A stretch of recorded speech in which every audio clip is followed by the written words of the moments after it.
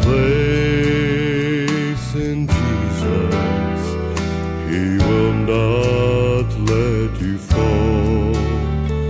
Though the storm may be raging, you can rest from all harm. There's a leaf.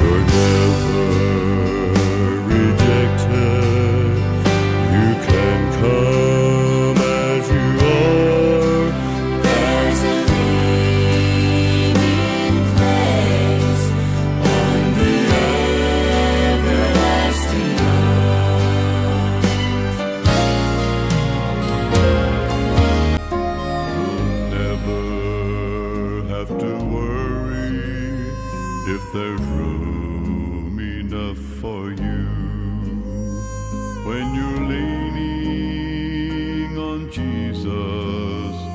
There's strength to make it through.